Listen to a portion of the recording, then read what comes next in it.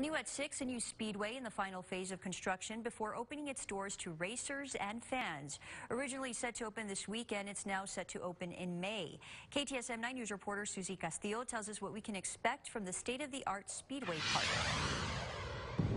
Built between El Paso and Las Cruces, the Vado Speedway Park is expected to bring tens of thousands of people to the area every year.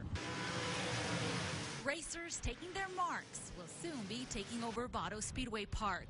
The oval dirt track can be seen off I-10.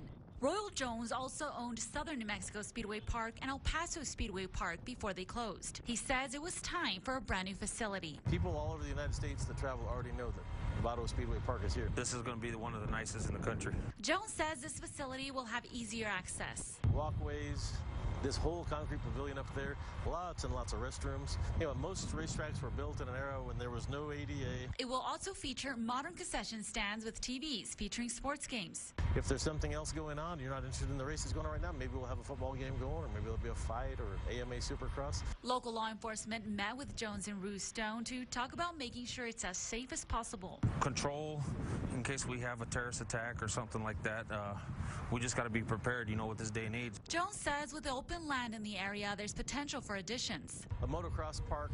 Um, we want to do go-karts for kids. Opening day is set for the first weekend in May. I am excited but nervous. you never know what can go wrong. There's a million things that can go wrong, but we've really planned it out, and there's a hopefully a million things go right. The owners tell me this can be a venue for concerts and events that are not related with racing as well. Reporting from Vado, Susie Castillo, KTSM 9 News. All right, Susie, thank you very much.